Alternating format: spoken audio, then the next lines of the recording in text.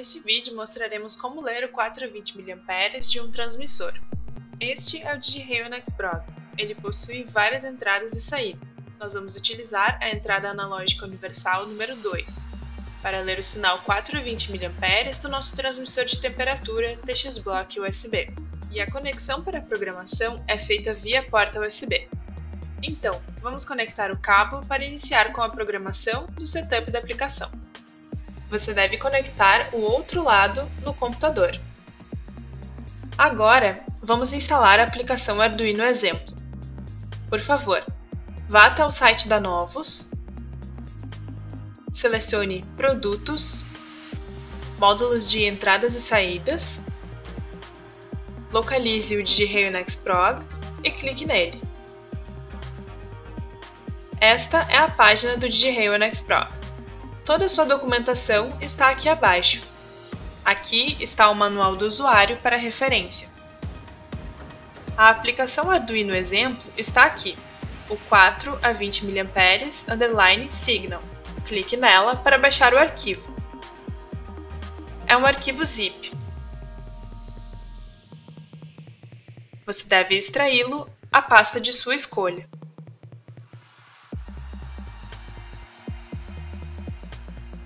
Feche, abra a pasta onde você extraiu o arquivo, clique duas vezes no arquivo sketch 4 a 20 mA underline signal.ino e a IDE irá abrir o arquivo sketch.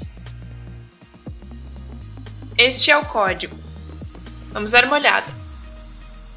Esta é a função que pré-configura a entrada analógica como tipo 4 a 20 mA configuramos um alarme em 28 graus. Esta é a função que configura a saída digital. E na aplicação, esta é a função que lê a entrada analógica. O valor da entrada analógica será mostrado uma vez por segundo no console. Essa é a rotina de alarme. Caso esteja em alarme, mostra o alerta no console. E também ativa a saída digital 2 piscando o LED conectado. Vamos compilar para verificar sua integridade.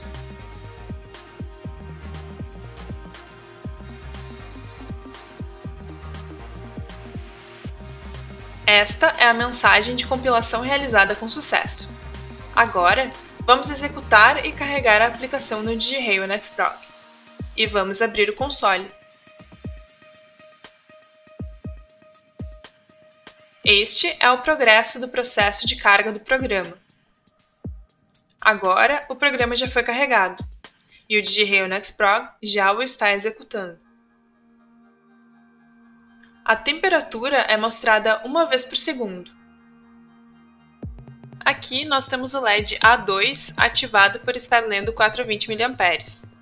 O TX-Block USB está lendo temperatura por um termopar T. E o LED vermelho está conectado à saída digital número 2.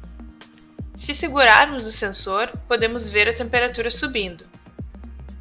A temperatura subirá e quando atingir o setpoint de alarme, a saída digital começará a piscar.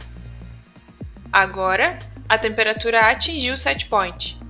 Aqui podemos ver a mensagem de alarme no console o LED vermelho piscando e a saída digital também. É isso, bem fácil. Obrigada por assistir!